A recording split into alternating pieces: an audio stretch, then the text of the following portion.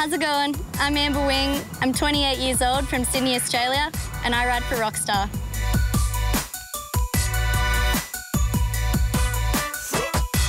Two thousand eleven is going to be an awesome year. I started out strong, I'm feeling great on the water, and it's paying off in the contest. I'm really excited about the tour and started with a first and a second.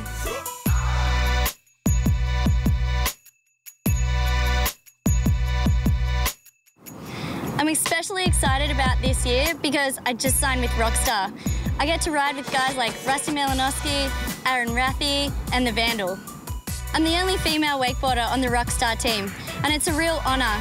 To have the support of the team, I'm going to do everything in my power to win every contest I can this year.